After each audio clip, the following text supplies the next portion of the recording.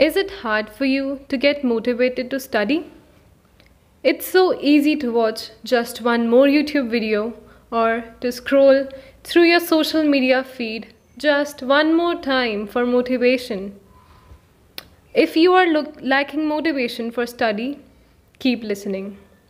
In this video, I will be telling you about some uh, useful tips that you could follow to study.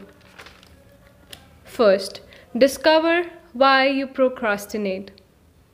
Break the material down into chunks. Reward yourself. Create your study routine. Be clear about why you want to get good grades. Use a mind map to organize the information. Make a boring subject interesting. Understand the topic. Don't just memorize. Look for gaps in your understanding. Study in short bursts.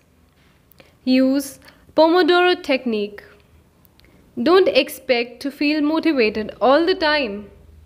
Exercise your brain. Organize your time.